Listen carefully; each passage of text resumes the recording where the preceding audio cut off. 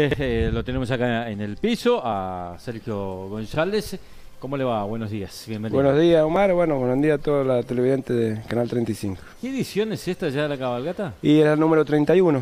31, 31 ediciones interrumpidas solamente por esta pandemia, una vez postergada por la influencia equina que, que la llevamos hacia agosto, que, que, por ahí muchos nos decían no, no suspenderla, no la, no la hagan, no la hagan porque no va a tener la, la concurrencia y, y bueno, creo que estaban todos equivocados, hubo mucha concurrencia porque nos tocó justo un fin de semana largo, que fue justamente el del 17 de agosto, y hubo mucho gauchaje, así que fue una acertada. Bueno, y, los caballos sanos.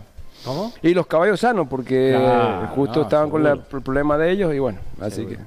¿Y cuándo va a ser en esta ocasión? Bueno, ahora esta cabalgata va a ser el día 31, con la noche gala, el primero, el 2 de abril, y bueno, el 3 es la desconcentración, la vuelta a casa, el traslado de los animales a los distintos departamentos, así que bueno, eh, son cuatro días de, de- cabalgata prácticamente, son dos andando a caballo y lo demás es, es para hacer movimiento de caballo. Bueno, y esto es una fecha muy importante, sin lugar a dudas, para todo el ambiente de aquellos que, que cultivan nuestro acervo, las tradiciones, las costumbres gauchas, ¿no? Es así, Omar. La verdad que nosotros siempre, cada cabalgata tiene un nombre especial, de acuerdo a lo que va pasando durante el año. Y bueno, en un principio surgió el nombre de cabalgata de fe del reencuentro, el reencuentro de nuestras amistades, nuestros gauchos, de nuestras tradiciones, de nuestra cultura. Después de dos años era, creíamos conveniente ponerle ese nombre, pero nos encontramos que también cumplíamos los 40 años de Malvinas. Así Claro. que automáticamente decidimos cambiar la fecha y cambiar un montón de programas de actos. Eh, así que hoy en día se llama Cabalgata de Fe a la difunta Correa Héroes de Malvinas, donde el día prim- 2 de abril vamos a tener un descubrimiento de placa, vamos a llevar a, a las tres agrupaciones que, que existen acá en San Juan, las 2 de abril, la CEA y la del Canal de Bigle, con sus presidentes y bueno, familiares seguramente, para que nos acompañen ese día a la llegada de la cabalgata, donde podamos, podamos hacer un descubrimiento y bueno, va a estar la fe, la tradición y, y el recuerdo de muchos caídos de Malvinas. El patriotismo, ¿no? Lo Exacto. que significó esa gesta. es cierto, es una fecha muy especial, la de los, porque se conmemoran los 40 años de la recuperación eh, de las Islas Malvinas, allá por 1982, eh, por, por la Argentina. Y bueno, y, y el, el homenaje, ¿no? Aprovechar para Sí, hacerlo todo eh, eh, nosotros mm, estamos muy orgullosos de- de- del gaucho porque casualmente un gaucho Rivero participó. El gaucho, sí, sí. Así que qué mejor, eh, por ahí habían críticas, habían molestias por, por, la fecha. Sé, sé que sabemos, a Malvinas nos duele a todos los argentinos, es una fecha muy importante, muy especial.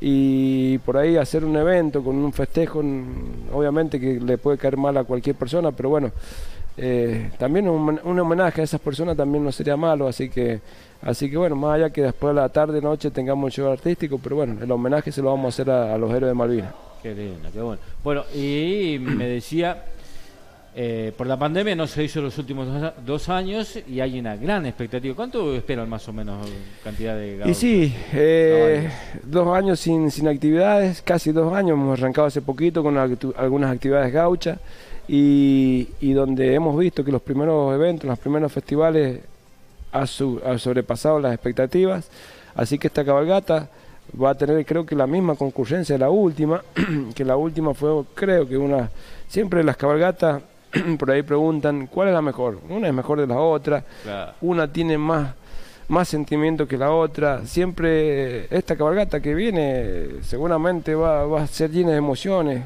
va a ser diferente a todas, a todas Claro. seguramente.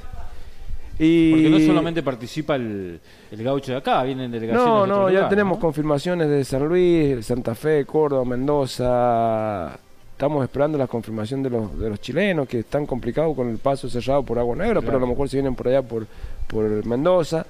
Eh, y la última edición tuvimos 5.000 caballos más o menos. Caballos. Así que calculamos que para esta edición, con las ganas y con, con- Creo que vamos a andar por ahí también. Bueno. Eh, ¿Cuántas horas más o menos eh, son de Y caballo acá? son más o menos, en total, en total son 14 horas a caballo. Eh, o sea, juntando todos los dos días, pero Claro. son etapas de 35 y 35 o, o 30 kilómetros, donde arrancamos el día viernes a las 13 horas de la puerta de la municipalidad de la capital, cabalgamos hacia Caucete, ahí sobre 5 o 6 horas, así que estamos llegando a sobre las 20, 21 horas en, en- a Caucete, donde hacemos noche. Ujú. Y al otro día arrancamos tempranito, a las 6 de la mañana ya está la, la Diana mm, levantando todo el gauchaje, el toque de Diana, y bueno, eh, a las 7 se retoma la, la ruta para estar llegando sobre las 12, 12.30 al paraje Difunta Correa. Me imagino ahí en Caucete cuando hace noche y después al mediodía este, seguramente algún fogón, Sí, algo la- la parrilla. eh, es, lo, es, lo, es lo más lindo que tiene esta cabalgata. Los fogones, el reencuentro de amistad, donde hay una guitarra, donde hay un trago de vino, donde hay... En donde se puede compartir puede- un, un, un cuyano con un, con un cordobés, con, un- con un- Exacto, o sea, nosotros música, siempre, costumbres. siempre acá lo primero que le enseñamos a pagar el cogollo, porque hay gente que no, no, no sabe lo que es pagar un cogollo, y bueno, se le da la explicación de por qué el cogollo, por qué la, la, la tonada va de cada cierta persona, y bueno, que los cordobeses, los aquí ah, sin ir más lejos, venimos de un festival de este fin de semana donde hemos tenido gente de Santa Fe y de Córdoba y, y no entendían el, el, el cogollo, o sea, y, y Claro. explicarle y bueno, así que así que bueno, seguramente eh, el día viernes vamos a hacer el fogón allá en Caucete, después a las 12, 12.30 hacemos el silencio para que podamos descansar. Y el día sábado, cuando lleguemos a la difunta Correa, también en la tarde-noche, durante el día, ya, ya, ya hay actividades de guitarreada, porque uno va viendo y el humito los asados, el asado por aquí, por allá. Yo creo que, que es un festejo que, que, que nos hace falta a todo el gauchaje y, por qué no, a toda la provincia. ¿Cuántas agrupaciones hay dentro de la federación? en- en- en Y dentro de esta Federación Gaucha tiene eh, eh, federadas 80 agrupaciones activas. Ocho. y donde tenemos dos, dos regionales, que es la de Hachal, donde cada regional tiene algo de 26 agrupaciones adheridas a esa regional. Una regional es como una federación gaucha chiquita en, en un departamento. Ujú. Hachal y Valle Fértil está con sus regionales, Iglesia está liberado porque tenemos agru- agrupaciones individuales como Calingasta. El único departamento que nos está quedando sin llegar a, a unirse acá, pero estamos tratando, conversando y ya en cuantito ya, ya, ya arrancamos con un, al menos con la primera agrupación federal, es Sarmiento.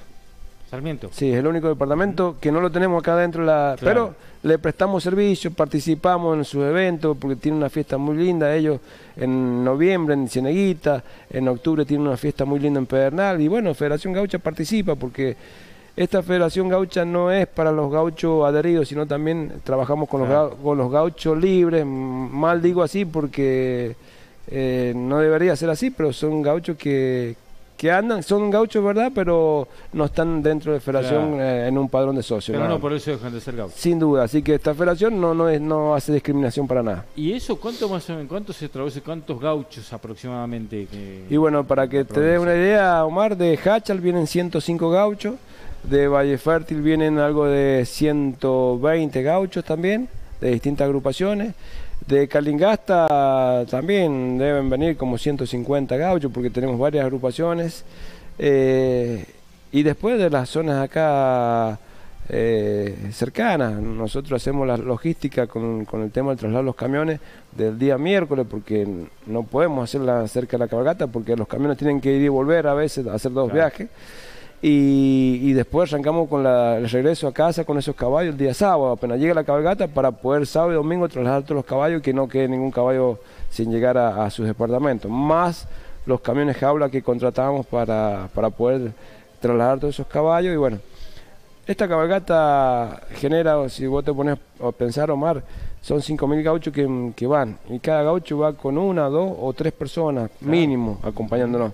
Sí, sí, sí. Eh, ahí trabaja el que vende la verdura para la ensalada, para el que vende la carne para, para los asados, para la carne a la olla, para lo que sea, para los picadillos, para toda esa gente. Sí. El de la estación de servicio, porque hay muchos vehículos que tienen que andar con combustible. Es, es un Se movimiento, genera se, se genera, la verdad que genera, genera algo para la provincia importante. Totalmente. Caucete, más que Claro. contento porque también Caucetti y, y la gente de la difunta Correa y los de los paradores allá, de los Claro. kioscos, esa, esa, esas, esa semana, esos dos días, trabajan muy bien.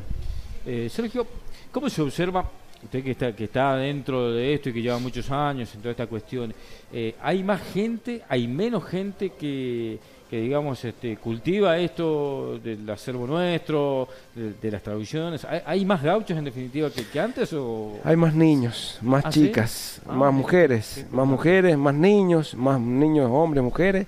La verdad que yo mm, te comento lo que me pasó anteayer, en el viernes y sábado en, en Gaco, donde había un grupo folclórico que, que daba para bailar y se, hacía muchísimos años, muchísimos festivales, que no veía tantas parejas ah, bailando adentro de una cancha, cerca de 50 o 100 parejas bailando de gente del público, gaucho, porque vos los identificás, que el que tiene una bombacha o tiene una- está vestido como de gaucho, o gente que, que le gusta ir, que va de un jean y bueno. Y gente joven, me llamó mucho la atención y bueno, por eso este trabajo que hacemos Federación Gaucha es un trabajo de honores, no, no, no tenemos un sueldo. claro. Y, pero bueno, trabajamos para esos niños y bueno, el que me siga a mí tendrá que tener la misma visión, seguir Claro. trabajando para mantener las tradiciones, las costumbres. Así que sí, eh, cada vez hay más incremento de gente. Bueno, el gaucho sanjuanino, ¿no? Usted lo ve ahí, el señor Sergio Gonzá- González, presidente de la Federación Gaucha Sanjuanina, con sombrero de paño, ¿no? Sí, sí. Sombrero de paño, El pañuelo pañuelo. al cuello, la bombacha, Exacto. alpargatas, por, eh, con alpargatas, Sí. y Y el el viejo poncho. poncho sanjuanino, Exacto. ese que con el que cruzó la cordillera, Sí, eh, San San Martín, Martín, el ejército eh, argentino, y al que le, le y el, canta... el facón, digamos. Pero bueno, este es un berijero. Es un berijero que se usa, pero el facón del gaucho es mucho más grande para poder que le sirva para pinchar, para cortar y bueno. Así que. Y esto es plata. Sí, sí. Qué bueno que está. Mirá, mirá la vaina que tiene. La vaina que Bueno, tiene. uno de los artesanos que vamos a manejar ahora en la cabalgata va a ser eh, Domingo Yacante, que es uno, uno de los... Ah, me, me- me- eh, falta que me cuente esto. Van bueno, esto acá, acá hay dos artesanos que han trabajado sobre este cuchillo. Este cuchillo es de, de, los, de los cuchillos españoles que venían todos Claro. de, de Cabo Enterizo. Sí. Este me lo hizo un amigo que es Helio Moya. Y todo lo que es cuero, la vaina ahí, lo que es suela, lo trabajó Domingo Yacante, que todavía está vivo.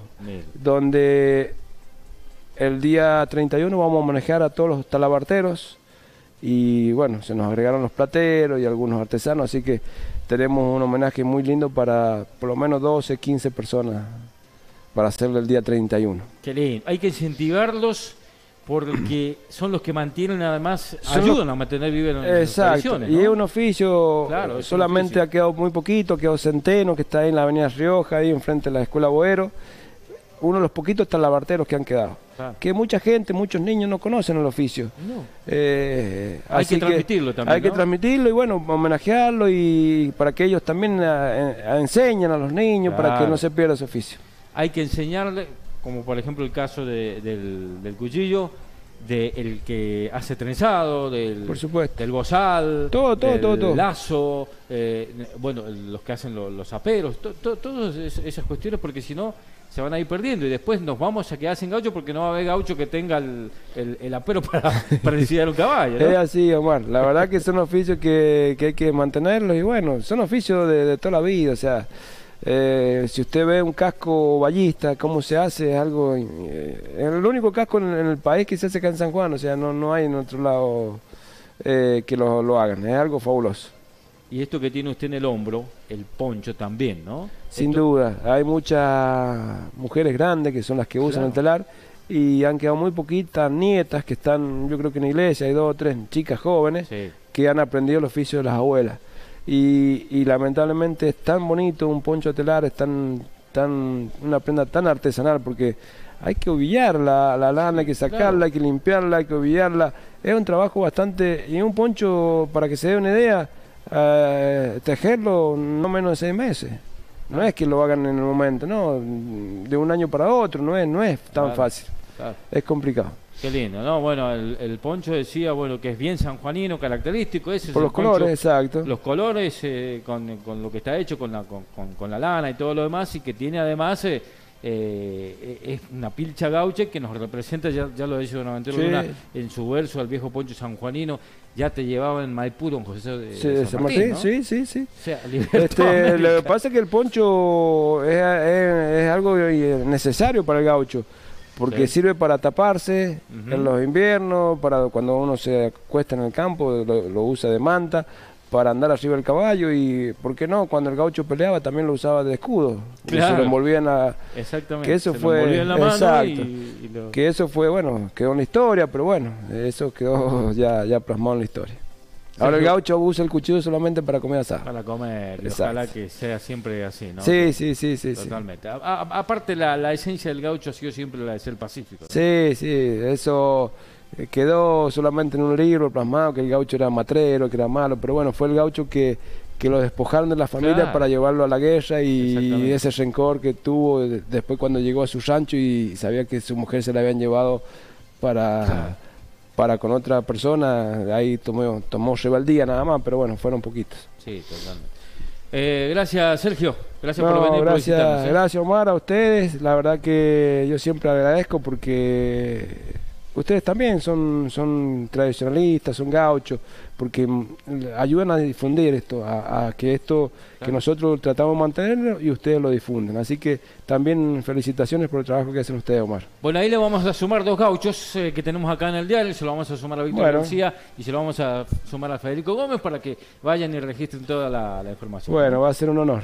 bueno, muchas gracias. Gracias, Omar. Sergio González, presidente de la Federación Gaucha San Juanín, aquí en el piso de Canal 35.